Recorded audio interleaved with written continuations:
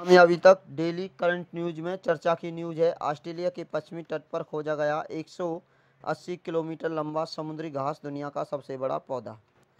दुनिया का सबसे बड़ा पौधा हाल ही में ऑस्ट्रेलिया के पश्चिमी तट पर खोजा गया है। एक समुद्री घास जिसकी लंबाई 180 किलोमीटर है।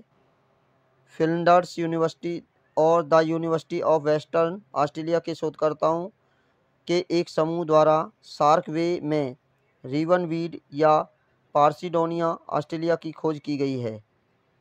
इन शोधकर्ताओं ने यह भी पाया है कि पौधा 4500 साल पुराना है। बांझ है, अन्य समान पौधों की तुलना में गुणसूत्रों की संख्या दुगनी है। यह उथले सार्क खाड़ी के अस्थिर वातावरण से बचने में कामयाब रहा है। समुद्री घास का अस्तित्व ज्ञात था कि यह एक अकेला पौधा नहीं था, क्योंकि समुद्री घास पर्यावरण में एक महत्वपूर्ण भूमिका निभाती है और अगर इसमें से कुछ कठोर हैं तो कुछ जलवायु परिवर्तन से खतरे में पड़ी दुनिया के सभी के लिए अच्छी खबर है। भारत में समुद्री घास, कई तटीय क्षेत्रों, विशेष रूप से रूप से मन्नार की खाड़ी, पाक जल डमरू मध्य में पाई जाती है।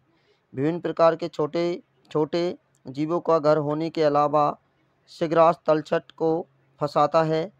और पानी को मैला होने से रोकता है। वातावरण से कार्बन को अवशोषित करता है और तटीय चरण को रोकता है। तो इस न्यूज़ से आपकी परीक्षा के लिए क्या प्रश्न बनेगा? प्रश्न बनेगा कि दुनिया का सबसे बड़ा समुद्री घास किस देश में खोजी गई है? तो इसका उत्तर होगा, ऑस्ट्रेलिया में खोजी गई है। अगर पूछे कितनी इसकी लंबाई है तो इसका उत्तर होगा 180 किलोमीटर इसकी लंबाई है। अगर पूछा जाए कि यह किसके द्वारा खोजा गया है? तो इसका उत्तर होगा यूनिवर्सिटी ऑफ़ वेस्टर्न ऑस्ट्रेलिया के शोधकर्ताओं के द्वारा खोजा गया है। और पूछा जाए कि इस पौधे की उम्र कितनी बताई है तो इसका उत्तर होगा, पैंतालीस सौ साल पुराना इसे बताया है। यदि आपको वीडियो अच्छी लगी हो तो वीडियो को लाइक करें, कमेंट में हमें बताएँ वीडियो आपको कैसी लगी। और आप हमारे कामयाबी तक यूट्यूब चैनल पर नए हैं तो जल्दी से सब्सक्राइब करें, बेल आइकन को ज़रूर बता दें। ऐसी ही वीडियो देखने के लिए हमारे साथ जुड़े रहें।